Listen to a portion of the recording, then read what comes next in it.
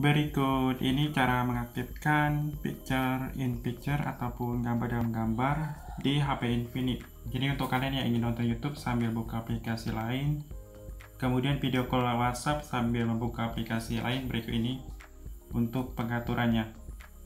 Pertama kita lihat dulu pengaturan dari gambar dalam gambarnya tekan lama aplikasi yang ingin kita aktifkan pilih detail aplikasi kalau di Infinite Kemudian setelah itu, kalian lihat ada gambar dalam gambar, kalau sudah diizinkan tidak perlu diaktifkan.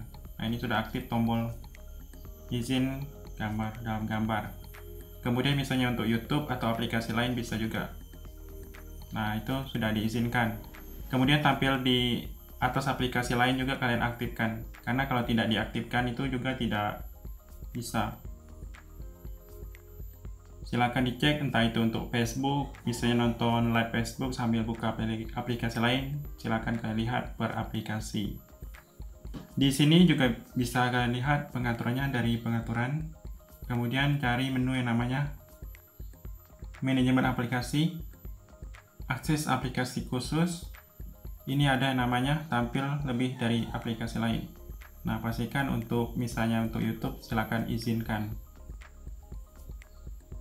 jadi setelah kita izinkan, kalian bisa lakukan picture in picture. Kalau WhatsApp, lakukan video call lalu tekan tombol ini. Kalau sudah tersambung video callnya. Kalau YouTube seperti ini, tapi harus premium. Atau akun kalian, akun Google kalian harus premium seperti ini. Kemudian pengaturannya itu bisa diaktifkan di sini di profil kita. Pilih setelan. Kemudian pilih umum dan di sini ada picture in picture harus diaktifkan. Setelah diaktifkan, semua caranya sama. Misalnya lagi nonton live di Facebook, kalian buka videonya, kemudian kalian tekan tombol ini, tombol beranda. Nah, dia akan melakukan picture in picture. Itu bisa kita ubah. Bisa juga di beberapa HP disembunyikan di samping ini.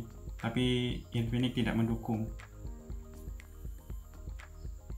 Nah, ini picture in picture. Kalau video call juga sama. Silahkan kalian praktikkan seperti tadi buka video call lalu tekan tombol ini akan melakukan bip atau picture in picture tapi tidak semua HP Infinix mendukung fitur ini.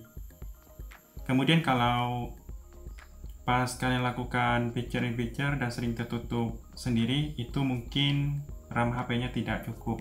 Makanya sistem menutup otomatis. Jadi itu saja pengaturan dari picture in picture semoga bermanfaat